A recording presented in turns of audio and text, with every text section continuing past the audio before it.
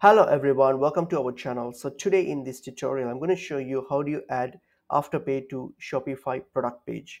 So let's get into the video. Firstly, open up Shopify, log into your account. So open up your Shopify page. All right. So once you're on, once you're in, what are you going to do? You're going to go to your uh, settings options. So once you're on your dashboard, so go go to your once you're on your home, so go to your settings here, click on settings, and then under settings, click on payments so when you get to payments here, then scroll down and then hit add payment methods.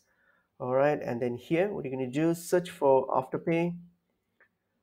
All right, so that's the Afterpay, then search for it. So select select Afterpay, and then what you're going to do, hit on activate. Make sure that your area or region supports Afterpay. So in, then only you will be able to see this.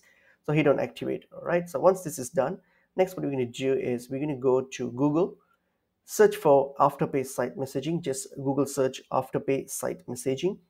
Once you do that and click hit on the first result.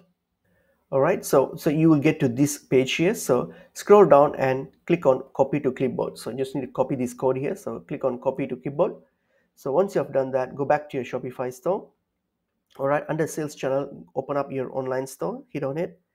All right once you open up your online store go to themes all right once you say only themes here click on the three dots here and then choose edit code.